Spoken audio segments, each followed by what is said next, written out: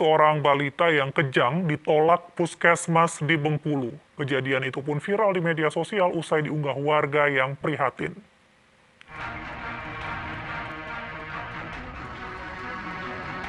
Inilah unggahan salah satu warga kota Bengkulu yang menceritakan adanya penolakan pasien di puskesmas Muara Bangkahulu, kota Bengkulu. Seorang anak balita berusia satu tahun delapan bulan tiba-tiba mengalami kejang tinggi saat dibawa ibunya berbelanja di pasar. Karena panik, sang ibu pun langsung membawa ke puskesmas.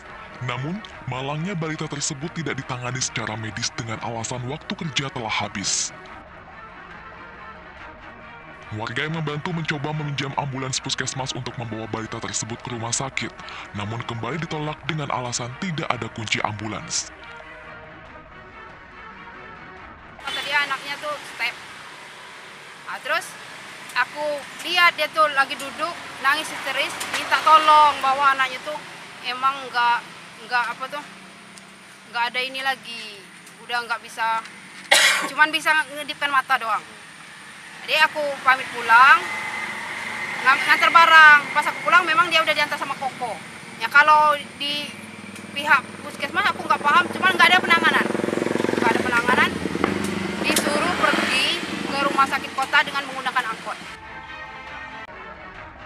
Menurut pihak puskesmas, saat kejadian hanya ada petugas laboratorium sehingga tidak bisa menangani pasien secara medis. Eh, dengan keluhan demam. Ini demam, tapi dari dari petugas kami tetap dilayani, diperiksa, meskipun memang petugas saat itu bukan tenaga kesehatan dalam artian eh, bukan perawat atau dokter, tapi tenaga eh, yang rumah dinas ini tenaga laboratorium, tapi tetap diperiksa, diraba pasiennya, kemudian diarahkan untuk berobat ke rumah sakit terdekat. Memang mobilnya, ambulannya ada di sini, tapi petugas untuk itu memang tidak bisa bawa ambulan di rumah dinas. Awal tahun lalu puskesmas tidak melayani lagi pasien selama 24 jam dan rawat inap. Hal ini mengacu pada Permenkes nomor 43 tahun 2019.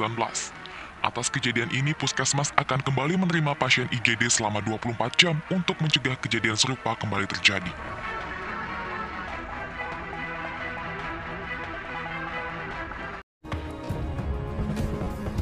Sampai di sini dulu ya videonya. Jangan lupa like, komen, subscribe, dan share ke teman-teman lainnya ya.